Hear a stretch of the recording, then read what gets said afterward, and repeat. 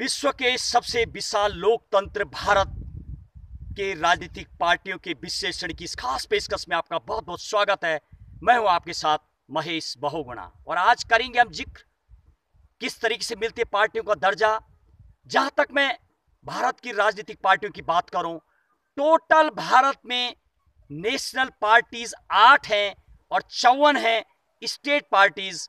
और अनरिकॉग्नाइज पार्टियों की यदि मैं बात करूँ तो दो हज़ार सात सौ छियानबे पार्टियाँ यानी टोटल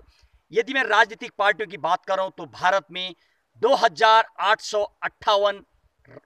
राजनीतिक पार्टियाँ हैं जो कि चुनाव लड़ती हैं। जहाँ तक मैं भारत के संविधान की बात करूँ, आर्टिकल 19 सब क्लोज थ्री के अधीन कभी भी कोई भी, बिल्कुल फंडामेंटल राइट है हमारा ये कोई भी पार्टी बना सकता है और इलेक्शन कमीशन ऑफ़ इंडिया देता है पार्टियों का दर्जा। और किस तरीके से बनती है, स्टेट पार्टी की मैं जहाँ तक बात करूँ, लोकसभा का जब चुनाव होता है तो लोकसभा चुनाव की घोषणा माननीय राष्ट्रपति करते हैं और उसके बाद election commission of India conduct करता है। और स्टेट पार्टी के दर्जा के लिए जब लोकसभा का चुनाव होता है तो जो वैलिड वोट होती है, यानी वैध वोट्स लीगल जो वोट्स होती हैं, उसका एट परसेंट वोट यदि पार्टी को पड़ जाता है तो पार्टी स्टेट पार्टी बन जाती है। दूसरी कंडीशन सिक्स परसेंट वोट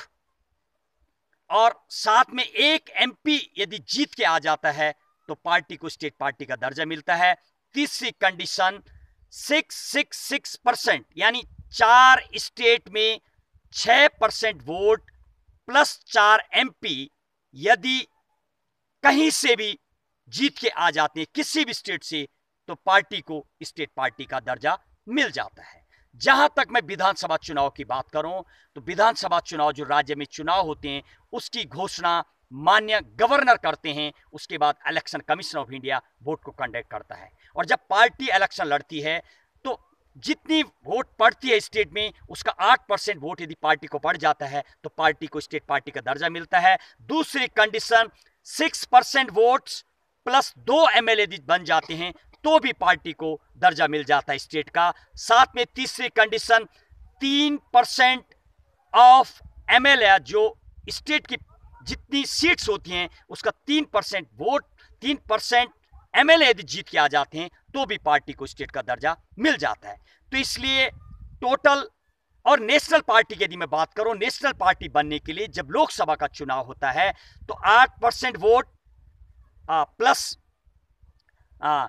आ, चार स्टेट से चार एमपी अलग अलग स्टेट से यदि चुन के आ जाते हैं तो भी नेशनल पार्टी का दर्जा मिल जाता है पार्टी को। इसके अलावा लोकसभा की जो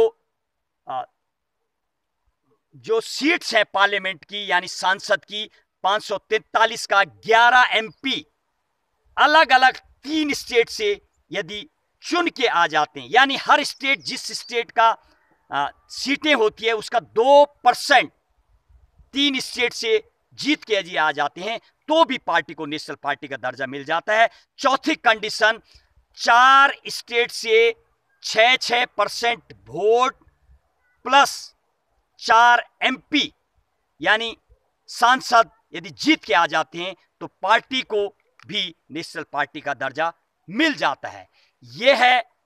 कंडीशन यह है शर्त, इलेक्शन कमीशन ऑफ़ इंडिया की नेशनल पार्टी